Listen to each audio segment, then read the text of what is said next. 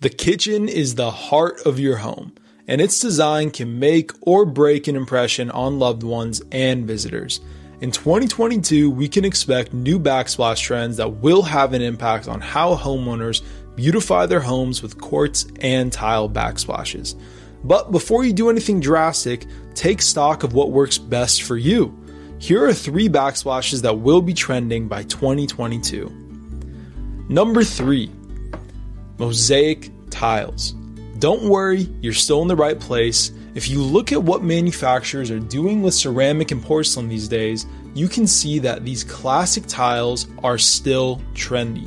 Today, you can find ceramic and porcelain mosaic tiles of endless shapes, colors, and sizes. Number two, vintage subway tile. These rectangular tiles have a timeless classic shape with versatility and variety to suit every style. It is safe to say that subway tiles will also decorate homes well beyond 2022. Number one, full backsplash quartz. Quartz has a beautiful and durable surface that can be installed anywhere. It is usually less expensive than tile, and the benefits are endless. Beautiful, easy to clean, and can give your kitchen the extra sparkle that it may need. There are eight reasons to go with a full quartz backsplash.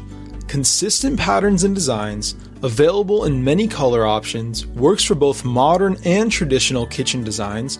It's easy to clean, it's mold, mildew, water, and stain resistant it can be made seamless, which means there's no grout lines, and can be integrated into a feature wall as well as being non porous.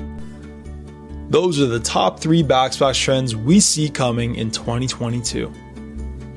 Whether you are planning on a full kitchen remodel, kitchen cabinet refacing, installing new quartz countertops, making a major update, or something in between, our team at Mr. Cabinet Care is at your service with experience, expertise, and personal attention. Call them for a free in home estimate and get started on the stunning kitchen of your dreams.